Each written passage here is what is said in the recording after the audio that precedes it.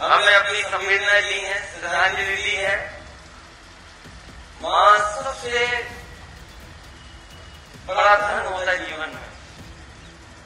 माँ से बड़ा धन कोई नहीं, क्योंकि माँ ही हमें जीवन देती है। और माँ के न रहने के बाद जो दुख आता है, वो हमारा आपका या कोई भी किसी पर का दुख बराबर इसलिए आज के मौके पर देश के प्रधानमंत्री जी की माता जी हमारे बीच नहीं है। हम अपनी तरफ़ से, आप सब लोगों की तरफ़ से और पार्टी की तरफ़ से उन्हें भी श्रद्धांजलि मैं एक बार फिर उनके भाई को याद करते हुए